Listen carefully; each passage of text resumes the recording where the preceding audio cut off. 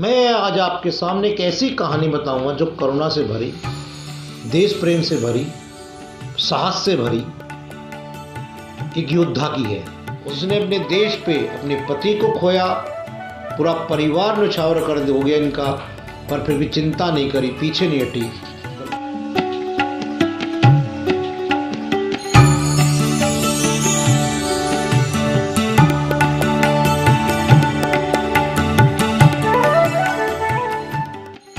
जय जाट।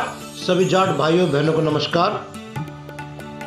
पिछले लगभग एक महीने से हम शोध कर रहे थे किसी एक ऐसे व्यक्ति के बारे में जिनका नाम लेते वक्त हमारे अंदर देशभक्ति की भावना आती है। और ताजुब होता है कि आज के इस युग में, कलयुग में ऐसे भी कर्मठ व्यक्ति हैं जिन्होंने अब स्वार्थ के बगैर देश की ऐसी सेवा की मैं आज आपके सामने एक ऐसी कहानी बताऊँगा जो करुणा से भरी, देश प्रेम से भरी, साहस से भरी, एक योद्धा की है। और मुझे बड़ी फक्र है इस बात को बताते हुए आप सभी भाइयों को कि एक जाट है। मैं तो बल्कि उनको इस नाम से सम्मानित करना चाहूँगा। पहली नारी जाट जासूस, जिसने अपना जीवन निछावर कर दिया। इस देश के लिए और कुछ नहीं मांगा। ऐसे बहुत से क्रांतिकारी जिन्होंने लड़ाई तो लड़ी, पर देश से ज़मीन ले ली, मुरब्बे लिए, पैसे लिए, पेंशन तक ली। लेकिन इस औरत ने कुछ नहीं लिया। तो आइए चलते हैं ऐसे एक वीर वीरांगना की कहानी के साथ। भाइयों, ये इनका नाम था नीरा आर्य। इनका जन्म 5 मार्च दो 1902 में उत्तर प्रदेश मेरठ के खेकड़ा गाँव में हुआ। ये जबकि मैं बता चुका हूँ, जाट परिवार में थे, इनके माता पिता किसान थे और इनका एक भाई था। बचपन में इनके माता पिता को बीमारी हो गई थी और लंबा इलाज चला, जिसकी वजह से इनके ऊपर कर चढ़ गया, इनके उनके भाई के ऊपर। और इतना खर्च करने के बाद भी इनके माता पिता नहीं बचे, ये चल बसे थे। और चूँकि कर्ज होने की वजह से साहूकार ने इनकी जो घर था और ज़मीन दोनों खुड़क कर ली, और ये दोनों बच्चे, ये नीरा और इसका भाई जो था, ये सड़क पे आए, मारे मारे फिरते रहे। इत्तेफाक देखिए, ईश्वर की चाह थी। इनको एक हमारे दूसरे महान विभूति, जिनको किसी परिचय का मोहताज नहीं चौधरी छोटू छाजूराम जी, जो कि एक कलकत्ते के बहुत बड़े व्यापारी थे, उनके ये संपर्क में आए और इनकी व्यथा को सुनकर सेठ जी, जैसे कि दानवीर हम जानते हैं, उन्होंने बहुत से दान किए हैं। सर छाजूराम सेठ छाजूराम भी कह सकते हैं। उन्होंने इन दोनों बच्चों को गोद ले लिया और गोद लेके इनकी पढ़ाई वढ़ाई का पूरा खर्चा किया और खर्चा करने के बाद उन्होंने इनकी शादी भी कराई और जो इनकी शादी हुई थी, वो एक पुलिस अफसर थे। लेकिन सर छाजूराम जी को नहीं पता था कि वो सीआईडी में थे। उनके साथ जब इनकी शादी हुई तो मेन टाइम पे क्या हुआ था, ये इनका कुछ शादी से पहले का जो टाइम था, जब ये शी वॉज़ अंडर एजुकेशन पढ़ रही थी तो जैसे कि मैंने बताया आपको, सर छाजूराम जो थे, वो दानवीर थे और सभी भाइयों की मदद बहुत करते थे। तो इनमें एक श्रृंखला में हम नाम और जोड़ेंगे, भगत सिंह का।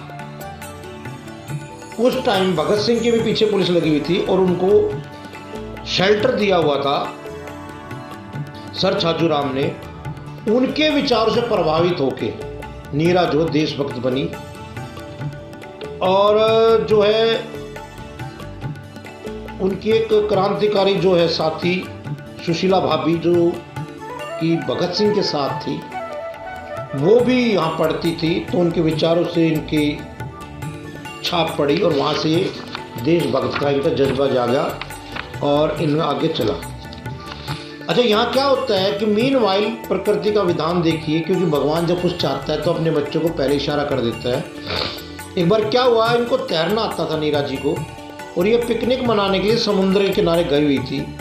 तो इनको पहले ये नहीं तैरी थी समुद्र में छोटे मोटे नदी वदी में तैरी हुई थी। तो जब ये वहाँ पर छलांग लगाई तो ये घबरा गई समुद्र में। कलकत्ता की ये बात है। तो जब डूबने लगी तो एक वीर पुरुष जो है, वो इनके साथ कूदा और उनकी जान बचाई। तब जान बचाई तो जब इनको बचा लिया गया तो उन्होंने पूछा, जी, आप कौन हो? तो वहाँ पर नीरज शौक हुई कि वो सुभाष चंद्र बोस थे जिन्होंने इनका जीवन बचाया था। और वहीं से जब उन्होंने कहा, जी, मैं आपका कैसे धन्यवाद करूँ? तो सुभाष चंद्र बोस ने कहा, भाई, बहन, मुझे एक राखी बाँध दे, हम भाई बहन हैं। तो यही मेरा आभार होगा। तो वहाँ से ये सुभाष चंद्र बोस की धर्म बहन बन गई थी, उनके कॉन्टैक्ट में आई थी। अब चूँकि हम बताया कि जैसे कि इनकी पूरी जिम्मेवारी सर छाजूनाम ने ले रखी थी, जिनके बताने के लिए नहीं इतने पैसे वाले थे उन्होंने क्या रिश्ता एक पुलिस के जो अफसर थे, उनसे कराया। उनका नाम था श्रीकांत रंजन दास। से शादी करा दी थी, जो कि ब्रिटिश खुफिया विभाग में थे, लेकिन कहने को ये पुलिस में थे, लेकिन पता नहीं था कि he is under spy he is a spy और यहाँ से नीरा को एक बड़ी ताज्जुब वाली बात पता लगी कि उन दिनों उनके पति जनरंजन दास जो है, वो जासूसी करे थे राजा महेंद्र प्रताप की। ये भी एक जाट थे, राजा थे, अलीगढ़ से हाथरस से। तो उनके इनको जब नोड़ाया तो उन्होंने उसको कहा कि भाई तू ये मत कर, देशद्रोही है तू, ठीक है, पुलिस में नौकरी भले ही कर ले, लेकिन अपने क्रांतिकारियों की जो है मुखबरी अंग्रेज़ों को ना करें। लेकिन वो नहीं माने, उन्होंने कहा, इनके पति की जो वर्डिंग है, जो बताया जाता है, लिखा है, हमारे लेखक ने, कि भाई पैसा होगा तो बहुत सी पत्नी आ जाएँगी। इस बात से आघात होकर नीरा जी ने अपने पति का त्याग कर दिया। अब उस टाइम पे आप जानते हैं सेकेंड वर्ल्ड वार शुरू हो चुकी थी। नीरा के बहुत से रिश्तेदार आज़ाद हिंद फौज में शामिल हो गए थे। नेताजी ने एक रानी झांसी रेजिमेंट बनाई थी। यह सुनकर नीरा जी खुश हुई का उनका ठिकाना रहा नीरा जी के मुँह भले भाई राम सिंह जी थे। उनको इच्छा जताई। तो वो इनको सुभाष चंद्र बोस, जो कि इनको पहले से जानते थे, उनको जाके वहाँ पर रानी झांसी रेजिमेंट में शामिल करा दिया। और नेताजी ने इनको अंग्रेज़ों की जासूसी का कार्यभार संभाला और उनको भी कहा कि अगर अंग्रेज़ों से पकड़े जाओगे तो बहुत यातना होगी तो इससे अच्छा तुम आत्महत्या कर लेना पर ज़िंदा ना पकड़े जाना। ऐसे ही एक ऑपरेशन के दौरान इनके एक साथी थे, वो पकड़े गए थे, पर ये भागने में कामयाब हो गई थी। क्योंकि उनको इंटेरोगेट किया जा रहा था छावनी के अंदर तो वहाँ पर इन्हें अपने दूसरे साथी से मिलके, जिसका नाम राजमणि देवी था, उस पर वहाँ पर जासूसी करके अंदर जाकर अपने साथी को तो छुटा लिया। लेकिन वहाँ जब गोलीबार हुई तो उनकी जो राजमणि देवी थी, उनको पैर में गोली लगी और वो जीवन भर जो है विकलांग हो गई एक पैर से। तो यहाँ से मैं कहूँगा कि ये पहली जाट महिला जासूस का खिताब नीरा आर्या को जाता है। अब इसके बाद क्या हुआ? इनकी मेहनत को देखते हुए या इनकी ईमानदारी को देखते हुए सास को देखते हुए नेताजी ने इन्हें अपने पास रख लिया कि अपने निजी उसमें। एक दिन नेताजी टेंट में सोए हुए थे। रात का पैर था। नीरा जो है वो टेंट के सामने रखवाली कर रही थी। तो वहाँ से कुछ आवाज़ आई। तो उन्होंने देखा इनका पति जो है, श्री निरंजन दास जो था, वो वहाँ खड़ा, जासूसी कर रहा था। और उस समय मैं आपको बताना चाहूँगा, नेताजी पे दो लाख का कैश इनाम रख दिया था अंग्रेज़ों ने। तो नीरा ने कहा भी तुम यहाँ क्या कर रहे हो? तो उसने कहा भी मैं नेताजी को मार देता हूँ, दो लाख मिलेंगे, हम खाए, पियेंगे, ऐसे करेंगे, हमारे बच्चे अमीर हो जाएँगे। तो नीरा ने कहा, तुम चले जाओ, नहीं तो मैं तुम्हें गोली मार दूँगी। तो वो हंसा, इसका पति जो निरंजन दास था कि पत्नी कभी पति को गोली नहीं मारती, मेरे को बेवकूफ़ ना बना। तो जैसे वो नेताजी की तरफ़ बढ़े तो नीरा ने अपनी संगीन, राइफल की संगीन से उस पर वार किया। वार करा जब हुआ श्रीकांत पे तो उसने दो फायर की। एक नीरा जी के कान के साथ से चला गया, एक उनके गले से टच होता हुआ निकल गया, जिसमें ये जख्मी हो गई। और जब ये इनका शोर मचा तो और नेताजी के गार्ड आ गए उन्होंने जो है उस समय निरंजन दास को पकड़ के मार दिया। और जब देखा नेताजी ने कि ऐसे से हुआ है, तब नेताजी अपने कार में स्वयं नीरा जी को लेकर हॉस्पिटल गए और उनका इलाज कराया।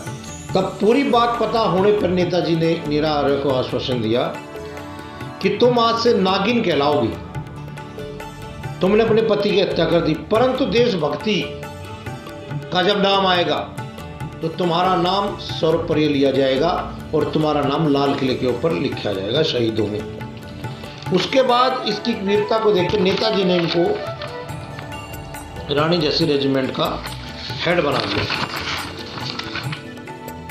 कप्तान बना दिया गया।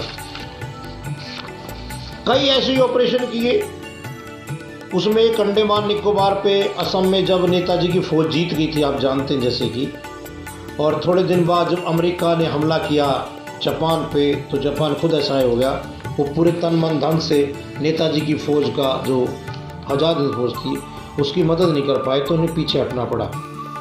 इसी दरमियान जो है ये नीरा जी आर्य जी पकड़ी गई। और देखिए आप कमाल, इनको नीरा जी को एक स्पेशल ट्रीटमेंट देते हुए अंग्रेज़ों ने काला पानी भेजा। ट्रीटमेंट क्या मैं कहूँ? इनको परेशान करने के लिए वहाँ सेलुलर जेल में इनको नारी इतनी यातना दी गई कि उसका वर्णन मैं शायद आपके सामने नहीं कर पाऊँगा, क्योंकि मैं खुद ही बोल नहीं पाऊँगा। लेकिन फिर भी नीरा जी ने अपना कोई भी भेदभाव भेद जो है ये मतलब राज आज़ाद हिंद फौज का नहीं बताया। अंग्रेज़ों ने पूछा बताओ नेताजी कहाँ हैं? तो उन्होंने कहा जो प्लेन में मारे गए। उन्होंने कहा नहीं वो ज़िंदा है। उन्होंने कहा हाँ, वो ज़िंदा है पर मेरे दिल में ज़िंदा है। मेरी आत्मा में ज़िंदा है। इनको बताते हैं कि एक हाथ से बाँध के लटका दिया जाता था रात रात भर परेशान किया जाता था गोल चक्कर पे बाँध के उनको घुमाया जाता था। और जब वो इनसे कुछ नहीं निकाल सके अंग्रेज़ तो उन्होंने क्या किया? इनको बाँध के टापू पर फेंक दिया। जिस टापू पर केवल आदिवासी रहते थे। इतफाक देखिए ईश्वर की लीला। आतंकवादी वो भाषा नहीं जानते थे, लेकिन यहाँ नीरा जी चौकी आर्य समाजी थी ये ओम का उच्चारण बार बार करती थी। तो ओम के उच्चारण को वो भी समझते थे। इट मीन्स कि वो भी हमारे हिंदू भाई थे, जैसे जो भी कुछ है। उनको उनकी भाषा समझ में आ गई। तो उन्होंने बाहर से एक दो आदिवासी जो थोड़े बहुत पढ़े लिखे थे, उनको बुला के नीरा से बात कराई। तो नीरा जी ने उनको समझाया, ऐसे ऐसे बात है।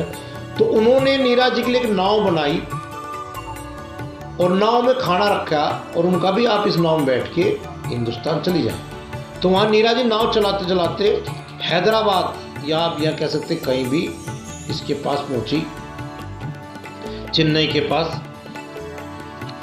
अब इस समय, क्योंकि ये पचास साल के आसपास हो चुकी थी, या सैंतालीस जो अब आज़ाद हुआ देश दो, उन्नीस का जन्म।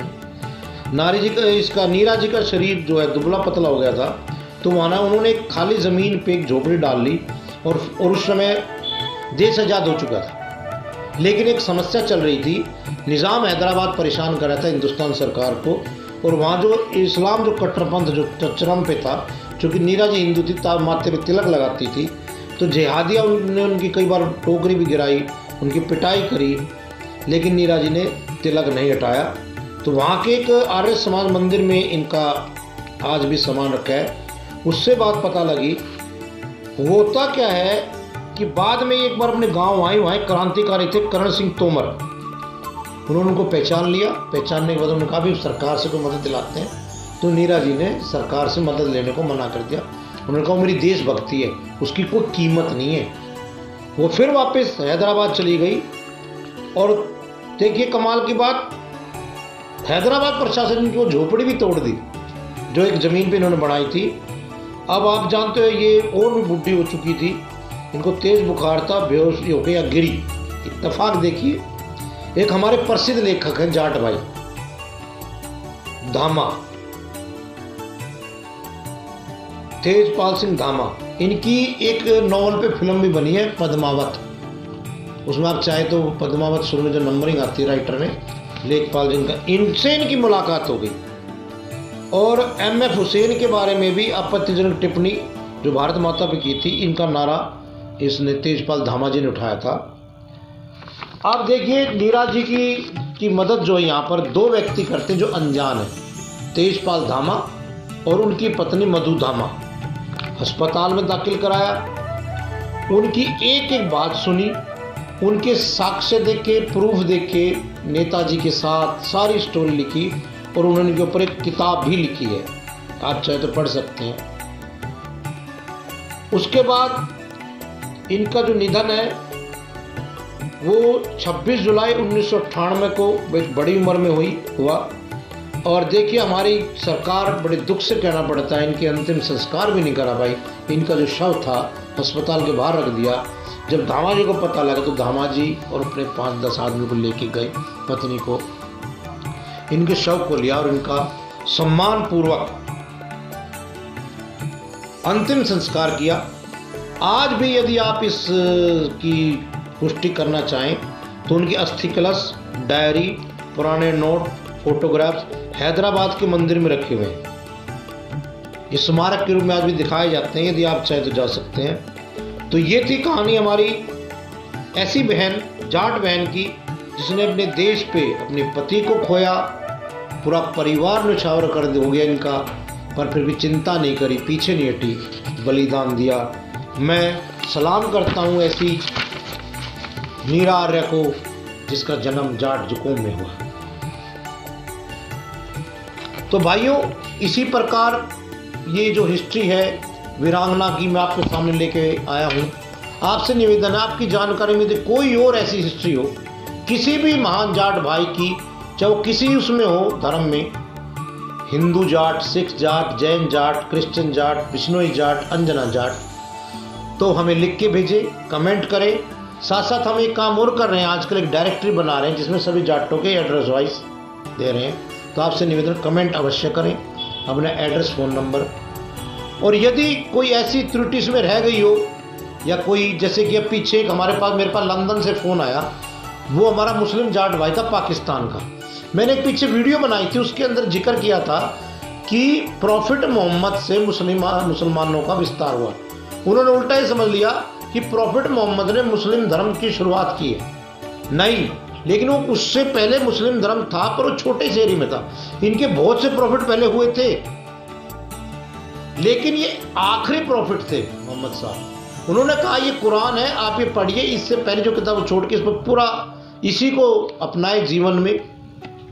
उसका बाद, फिर बाद में मुस्लिम धर्म का जो भाई थे, ये इनका विस्तार हुआ। फिर ये जैसे कि सऊदी अरेबिया, इराक, ईरान जैसे साल वाइज कौन से जीतते गए तो हिस्ट्री है, आप इस मामले में बता सकते हैं। तो भाइयों, अगर कोई त्रुटियों को मुझे भी आप जैसे भाई बताते हैं तो क्षमा करें। और कोई भी ऐसी बात है जो आप चाहते हो कि हमारे जाट भाई जाने। अच्छा एक बात और सुनिए। मेरे पास अभी एक मैसेज आया कमेंट आया है इसराइल से।